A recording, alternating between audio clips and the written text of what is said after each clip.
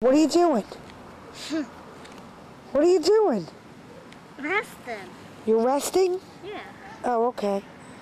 And what are you doing? What? Look at me. Huh? What's the matter? Why don't you want to keep going? Once they never show, after that comes down the road. Look at the road. It's two miles to get home. What? Mike, say Mike wants to rest. I'm he said it's two miles to get home, he said. No, it's not two miles. Two miles where we gotta go down that street. No, we gotta go home. And we'll drop dump a candy off. And we're going trick or treating down this road. I thought you wanted to go. Angelo was tired. He's throwing a temper tantrum. Watch him.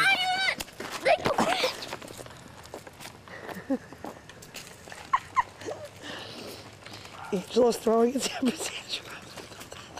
Going to his candy. Now he's staying there. He doesn't want to come with us. And we're going to go home. Bye, Ange.